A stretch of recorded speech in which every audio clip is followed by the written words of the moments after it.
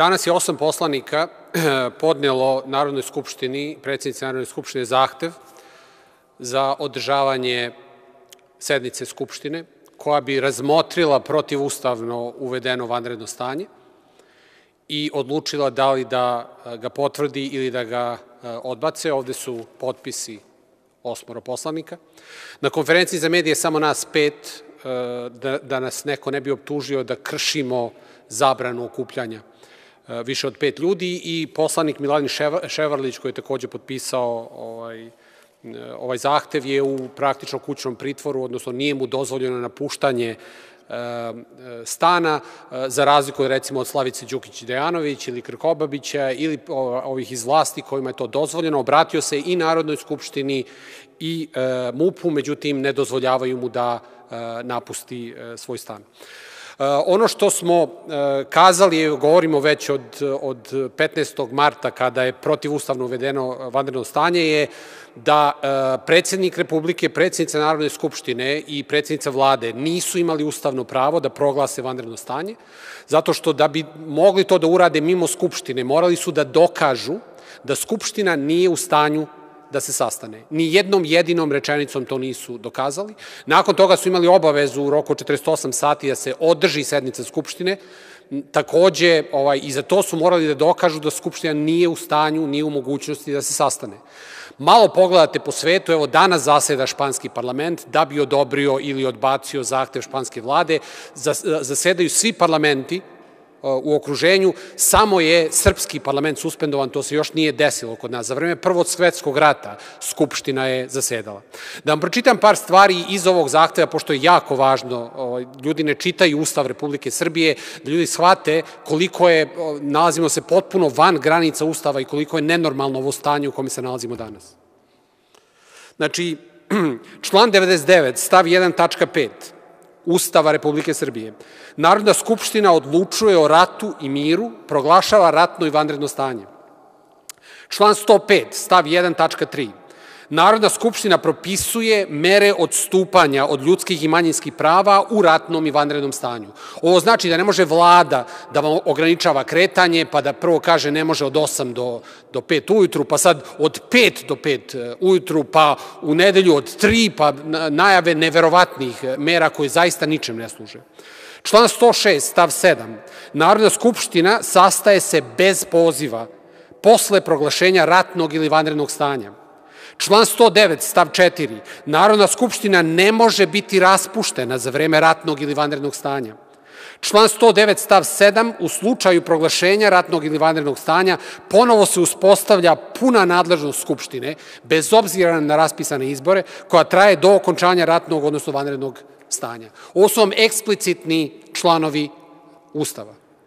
Znači, mi imamo jedno protivustavno proglašeno vanredno stanje, prva, prva stvar je nama i ne treba vanredno stanje, sve mere mogu da se donesu i sa vanrednom situacijom. Očigledno se radi o velikoj političkoj zloupotrebi vlasti koja koristi vanredno stanje da bi odgodila izbore. Evo, ovaj, juče smo saznali od Batuta da je ovaj, 1. marta je već država znala da imamo zaražene od e, koronavirusa.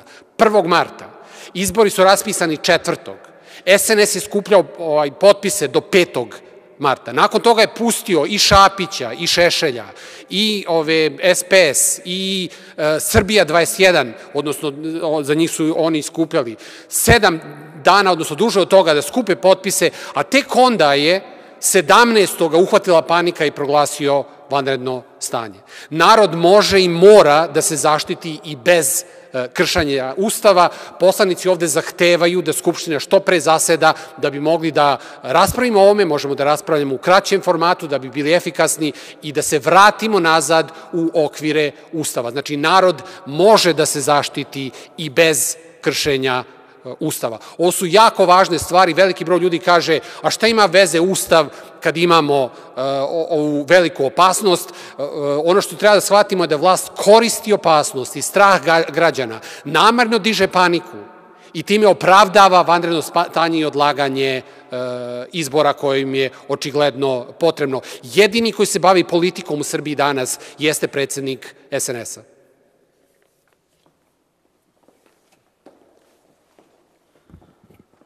Dobar dan. da vas ja pozdravim.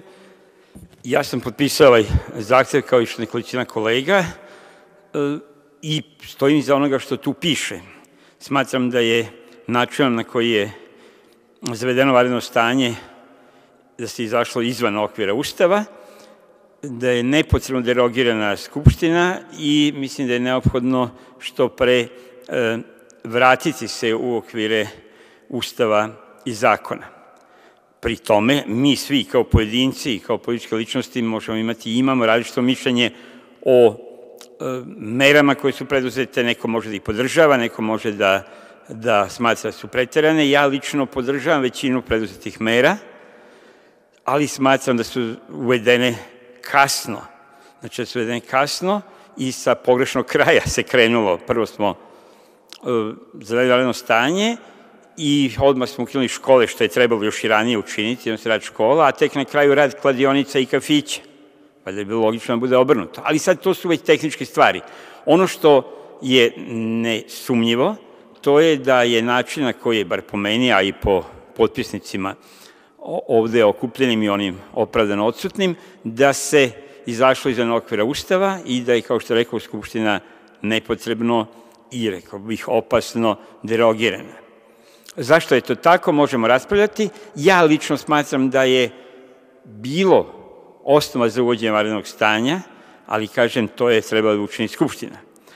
Da je bilo neophodno ili da su neophodne određene mere derogiranja ljudskih prava, uključujući ograničenje kretanja, to se u ovakvim situacijama dešava, to se radi i u svetu u ovom trenutku u Evropi, ali i tu se slažem sa onim što je i kolega Radulović rekao, mislim da ni jedna zemlja nije na ovakav način izašla izvan ustavnog poredka i koje zavode vanredno stanje, a mnoge su uvele, i koji uvode vanredne mere su to se trudile da urade u skladu sa Ustavom i zakonom. Kod nas je tu došlo do iskakanja. To je, dakle, ta prva i osnovna stvar. I druga, kada sam već ovde i neki način e, koristim priliku da ne sazivam posebnu konferenciju za štampu i da se ovde i osoblje i zaduženi u Skupštini u vezi sa tim ne moraju posebno angažovati, pozivam, znači nezavisno od ove prve stvari i ključne koja se okupila, sve nadležne, pre svega vladu i ministarstvo, zdravlja da u okviru redovnih izveštaja, dnevnih izveštaja koje podnose, obavezno, dakle obavezno, umesto, soli, umesto nekog, nekih emocijnih ispovesti, umesto o, svega onoga što inače slušamo na tim konferencijama za štampu, taksativno navedu podatke o ne samo broju, nego i strukturi zaraženih, odnosno obolelih od koronavirusa. Dakle, ne zanima me ili može da nas zanima, ali ne u, u glavnom delu tih konferencija, mentalno-emotivno stanje e, i emocija govornika, je to predsednik ili predsednica vlade ili neko treći, ali nas zanima kao građane, a i nas kao narodne poslanike, ali čitavu javnost, verujem, koja je polna struktura zapos, za, obolelih e, od koronavirusa toga dana, a i ukupno, koja je starostna struktura, to je posebno važno, i ne bi bilo loše znati i geografski raspored, dakle gde su ti, ne samo da se leče, nego gde su ti oboleli. To je bilo većeg interesa, odnosno neuporedivo većeg interesa za javnost od toga, od onoga što najčešće slušamo u okviru ovih e, konferencija, odnosno tih redovnih briefinga u vladi od strane kriznog štaba i onih koji su na velikoj meri preuzeli ingerencije Skupštine kao najvišeg organa vlasti u zemlji. Hvala. Dobar dan svima. E, ja sam jedan od osam narodnih poslanika. Nas osam, svi, svi smo slobodni poslanici, ne pripadamo ni jednoj poslaničkoj grupi, je skupilo hrabrosti da potpiše jedan ovakav zahtev i da samo nas osam od 250 kolega koliko ima i koliko reprezentuje Republiku Srbiju u Narodnoj skupštini Republike Srbije e, se bori za zaštitu ustavnosti i zakonitosti i za interese građana. Ovo nije formalno Svima je ponuđeno da potpišu, znači svi narodni poslanici su dobili poziv od inicijatora gospodina Saša Radulovića da potpišu jedan ovakav zahtev, nas 108 se odazvalo. Ovo nije puki formalizam, jer forma jeste poslednja odbrana prava. Mi smo našu sudbinu poverili u ruke ljudima koji su samo 10 dana slali kontradiktorne poruke i kontradiktorna upustva. Od situacije da se smeju da je najsmešniji virus na svetu, da idemo u šoping u Milano, da nema potrebe zatvarati škole. Nedelju dana kasnije dobili smo varedno stanje, zabranu kretanja, apele da će mnogi od nas ostati bez svojih voljenih i zatvaranje škola. Ovde je prekršena procedura. Ovo su neustavne mere. Najpre 1. marta su, verovatno su i ranije, ali 1. marta su, imamo zvanično od Batuta da su saznali za postojanje koronavirusa u Srbiji. 4. marta su raspisali izbore, krenuli u skupljanje. Tek kad su predali listu 6. marta je priznato da je prvi čovek zaražen koronavirusom. Suspendovana je Narodna skupština, jer Narodna skupština navodno ne može da se sastane zato što je, se krši uredba od preko 50, koliko je u tom trenutku, ili preko 100 ljudi prva uredba gde je zabrano okupljanja, a istovremeno rade i kafići, ugostiteljski objekti i tržni centri. To je jedna potpuno suluda situacija da vlada Republike Srbije koju su birali narodni poslanici, koje su pak birali građani direktno na izborima, zabranjuje Narodnoj skupštini da radi i ne dozvoljava Narodnoj skupštini da radi, a dozvoljava tržne centre, kafići i kladionice. Zbog toga mi smo izuzetno zabrinuti da se varedno stanje može zlupotrebiti za političke ciljeve i svedoci smo toga, kao i da ljudi koji u ovome trenutku su preuzeli svu odgovornost, a uvođenjem varednog stanja na ovaj način Aleksandar Vučić je preuzeo svu odgovornost i lično će biti odgovoran za sve posledice ovoga varednog stanja i za svaku osobu koja bude preminula tokom varednog stanja, apsolutno nisu kompetentni da rukovode ovim varednim stanjem jer su to sami pokazali suprotnim izjavama, suprotnim potezima, apsolutno su pokazali da ne vladaju situaciju. Aleksandar Vučić ne može da iskontroliše ni sobstvenu političku stranku, niti vlast i sistem koji je stvorio, a kamoli da se nosi sa celom ovom krizom. Ja sam prvi još u februaru mesecu rekao da neće biti izbora, da će se izbori odložiti.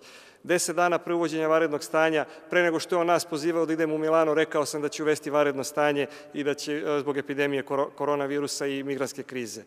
Kada je uveo varedno stanje, izneo sam ozbiljne upozorenja da nekome ne padne na pamet da varedno stanje koristi za ozbiljne zloupotrebe. Postoji spisak od hiljadu nepodobnih lica u Srbiji koji su na merama i evidenciji kao neprijatelji ove vlasti i ovog sistema. Od toga 200 je na, posebno, na posebnim merama, a 20 je, kojih je u vrhu ima ozbiljnih indicija i razmatranja da nastradaju od koronavirusa. Nemojte da se šalite sa tim, lično će Aleksandar Vučić biti odgovoran ukoliko nekome tokom varednog stanja se, ne daj Bože, nešto desi, znači da ga smestite na infektivnu kliniku, zarazite i da čovjek podlegne povredama. Mi ne znamo šta se dešava tokom noći, pošto smo svi u zabrani kretanja. Nemoj nekome da padne na pamet da sprovodi plan koji je dogovorio sa Sorošem i da naseljava migrante u Srbiji, pa kad se ukine varedno stanje da se probudimo u Džamahiriji. Ja bih razumeo ograničenje slobode kretanja. Ja sam prvi govorio mnoge mere koje vlada treba da preduzme. Da imamo dezinfekciju, kao što je bilo u Kini. Da li je neko od nas video masovno dezinfekciju zbog koronavirusa na ulicama grada? Nije. Mi dan danas, evo sad su došle te hiruške maske, evo imaju i sad u Skupštini od danas zaštitnu opremu i hiruške maske, do, do dana današnjeg mi nismo imali zaštitu. U prodavnicama koje rade ne postoji zaštita kao što smo je viđali i u Kini, kao što je viđamo u Nemačkoj da su potpuno izolovani. Zatvorili smo škole i fakultete radi dezinfekcije, je li tako? A šta ćemo sa ostalim ustanovama? Ukazivao sam, najveća opasnost je u zatvorskim i pritvorskim jedinicama ustanove za izvršenje krivičnih sankcija su leglo zaraze. Tamo ako se zakači koronavirus, ozbiljna epidemija, nema šanse da se iščisti pritvorski i zatvorski ustanove. U pritvoru je 3000 nevinih ljudi. Nikome nije okončan krivični postupak. Imamo oko 8000 zatvorenika. Oni su osuđeni na kazne zatvora, ne na smrtne kazne. Vlast o tome ne brine. Posledice ovog varednog stanja epidemije koronavirusa su već ozbiljno vidljive. Koliki je broj ljudi ostao bez posla? Ogroman broj. Šta ćemo sa radnicima koji rade na crno? I koji nisu ni evidenciji kao zaposleni i koji ne mogu da obavljaju poslove, a nemaju šta da jedu ukoliko danas nisu odradili neki posao ili nadnicu. Svedoci smo da neka gradilišta rade, recimo neki mogu da rade, a neki ne mogu da rade. To su sve ozbiljni, ozbiljni propusti i očigledno je da aktuelna vlast nije u stanju da se nosi sa svim tim izazovima i sa svim tim problemima. E zbog toga mi smatramo da se moramo hitno vratiti ustavno pravne okvire, Narodna skupština reprezentuje jedina celokupnu populaciju Republike Srbije. Niko od nas nije protivno interesa ni naroda ni države, ali niko od nas, nas ne sme i ne može da isključi da imamo informacije i da učestvujemo i doprinesemo na najbolji mogući način da se ovo stanje što pre reši i što pre sanira. I zato Narodna skupština mora da zaseda i zato Narodna skupština mora da bude obaveštena i zato u svim državama sveta gde je uvedeno varedno stanje nigde nije suspendovana Narodna skupština, jedino u Srbiji. Pogledajte okruženje, od Bugarske preko, ne znam, Hrvatske, Albanije, čak i na Kosovo i Metohiji, našoj južnoj srpskoj pokrajini pod okupacijom, svugde Narodna skupština zaseda, radi kao i u celoj Evropi. Vlast je jedina koja ne poštoje mere koje donosi. Aleksandar Vučić je, je dolazio znači, sa konferencije gde, su, gde je bila registrovana koronavirus, AIPA konferencija u Americi. Imao je lični razgovor sa Tedom Cruzom koji je pre toga razgovarao sa licem koji je bilo zaraženo i američki senator je otišao u karantin. On nije išao u karantin. Slaviša Kokeza, kum Aleksandra Vučića, jedan od pet najmoćnijih ljudi u Srbiji, je na infektivnoj klinici potvrđeno je koronavirus, kretao se, ko zna koliko je ljudi zarazio iz vrha SNS-a i da li je bio i bio je na rođendanu Aleksandra Vučića. Znači, da li, da li je neko iz aktuelne vlasti u karantinu zbog koronavirusa. Mi imamo i službenike, državne sekretare u vladi Republike Srbije kojima je potvrđen koronavirus i koji su u izolaciji.